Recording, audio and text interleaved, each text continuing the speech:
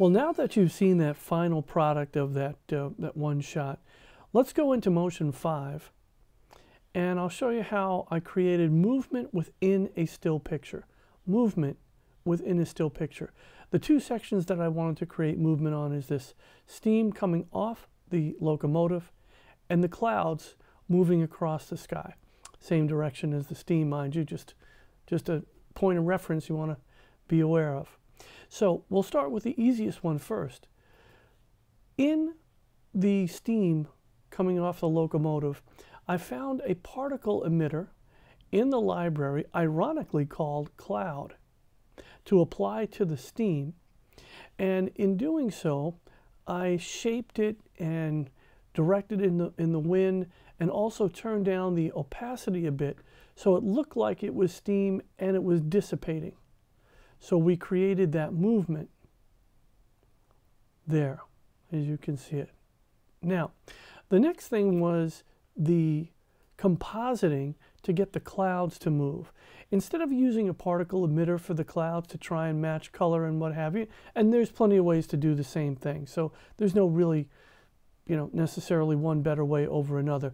But this is how I chose to do this one. I may do another one differently. Um, but what I did here was I took the same shot, the same photograph, and placed it one above the other, layered it, and then as you can see, I took little, just show you here for this, the purposes of seeing this better. This is the top picture, and to the top picture, I applied a Bezier mask around parts of the clouds that I wanted to move. Okay? And then I applied movement to that top picture. So you can see here, that movement of that Bezier mask.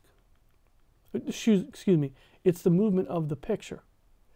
And so when I apply the bottom picture, you can see how this looks.